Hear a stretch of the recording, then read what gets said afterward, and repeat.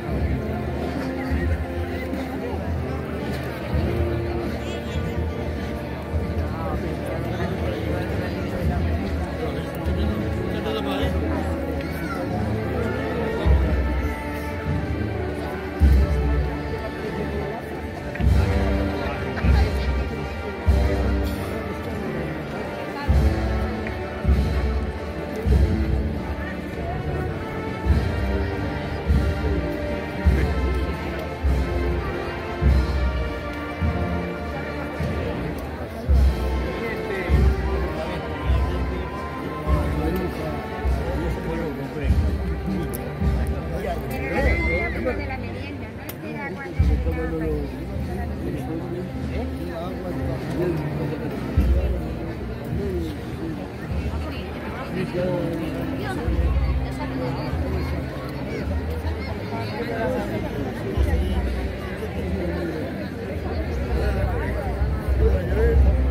작업